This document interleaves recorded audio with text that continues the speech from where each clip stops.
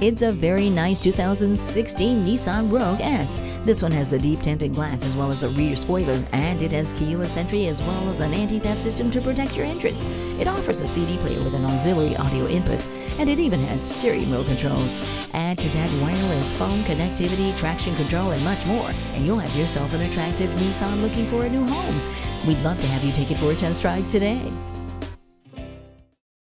At Jenkins Nissan, honesty is our policy. We're conveniently located at 4401 State Route 33 North in Lakeland, Florida.